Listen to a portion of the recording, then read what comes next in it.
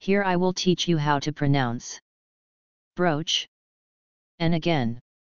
Brooch. Farewell, please share with your friends.